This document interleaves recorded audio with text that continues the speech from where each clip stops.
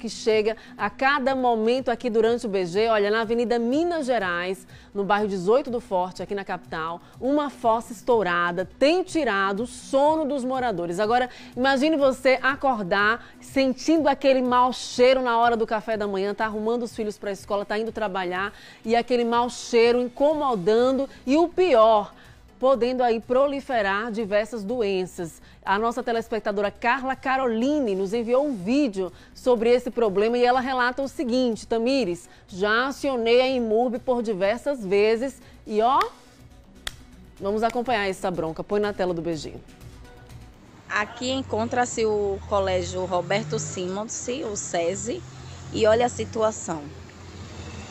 Olha, o borbulho que essa comunidade 18 do Forte está passando. O mau cheiro é terrível.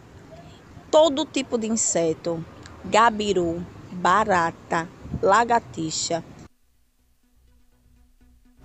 Situação realmente absurda. E aí nós enviamos os vídeos para o Ademar Queiroz, que é assessor de comunicação da Imurb. Estamos aguardando um posicionamento e nós vamos continuar em contato com a Imurb, cobrando providência. E olha, são diversas reclamações que chegam, a população sofrendo justamente por falta de saneamento básico, por falta de estrutura e muitas vezes por falta de atenção com as comunidades. Nós vamos continuar cobrando incansavelmente a solução para esse problema aí.